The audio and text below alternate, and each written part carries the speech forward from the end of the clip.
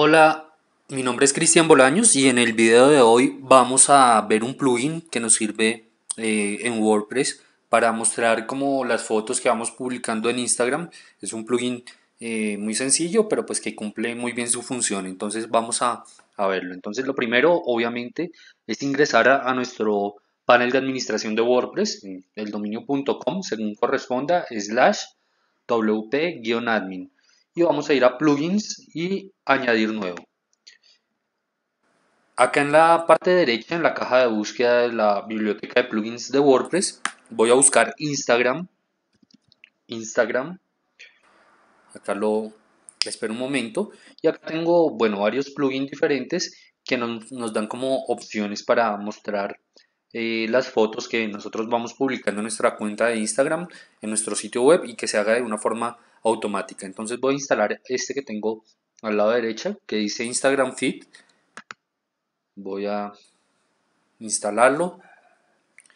Le digo activar. Y listo, acá lo tengo. Instagram Feed. Acá abajo tengo un botón que dice Settings.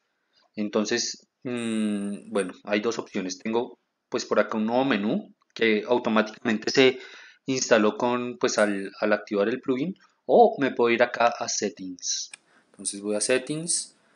Acá me dice login and get my access token and user ID entonces cuando yo me logueo o vinculo mi cuenta de Instagram con este plugin me va a salir un token o una clave y un ID de usuario de Instagram que yo voy a necesitar para poder instalar o utilizar bien esta aplicación. Entonces acá me salen los datos. Voy a copiar este token lo voy a seleccionar, lo voy a copiar acá y por acá abajo me lo piden, entonces lo voy a pegar y voy a repetir el proceso con mi ID, user ID, selecciono, le doy siguiente, ok,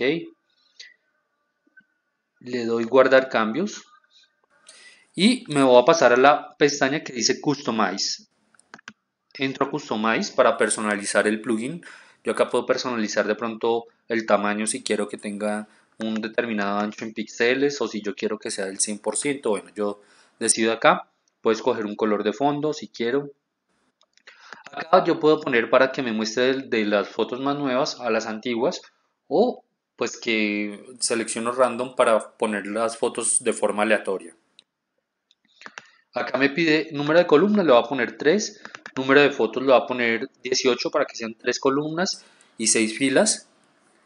Y bueno, acá le digo, bueno, acá me da otras opciones, puedo cambiar el botón de eh, cargar más, entonces, o ver más, entonces acá puedo cambiar el texto, entonces le voy a poner ver más, yo puedo cambiar el color del, del botón acá, del texto, entonces le puedo cambiar, voy a cambiar por ejemplo el color, el color del botón, voy a escoger uno verde, por hacer nada más el ejemplo, el texto que siga siendo blanco, por acá tengo el header. Entonces puedo cambiar el header si yo quiero. Eh, acá puedo cambiar el botón de síguenos. Entonces voy a poner el mismo color que puse arriba el color verde por ejemplo. Que la fuente siga siendo blanca y que diga síguenos sígueme o sígueme en Instagram. Listo.